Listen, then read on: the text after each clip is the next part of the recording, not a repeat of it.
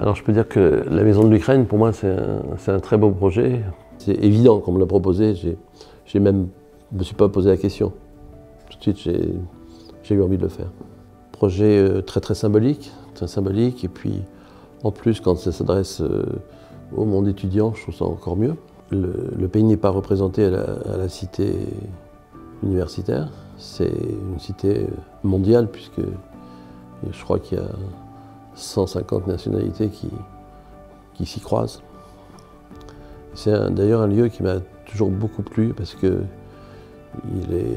il, symbolise les différentes époques euh, et les différents pays, le tout sur un même site, je trouve ça assez étonnant. Notre projet, c'est de c'est de suggérer un lieu où les étudiants pourraient habiter, vivre, et on peut même dire travailler. Nous avons travaillé sur un projet hein, assez symbolique mais qui, est, qui peut être proche d'une réalité. C'est un bâtiment qui, fait euh, environ 4000 euh, m2 et sur lequel on, on pourrait avoir euh, en partie haute, les, parties blanches sont des bâtiments un peu en lévitation, sur un socle en réalité, qui lui-même a deux niveaux, et dans lesquels on pourrait avoir des bibliothèques, des salles de travail, un auditorium, des salles de musique, donc vraiment, on, recrée un monde pour les étudiants où ils, vont pouvoir se croiser, travailler et se développer.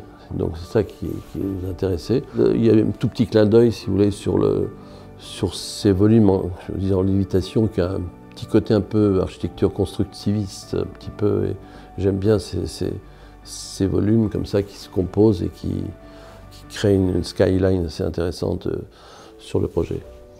Donc on a, envisagé 80 chambres sur un mode particulier parce que ce n'est pas 80 cellules comme ça, c'est 80 chambres qui sont réunies par petits groupes de 5.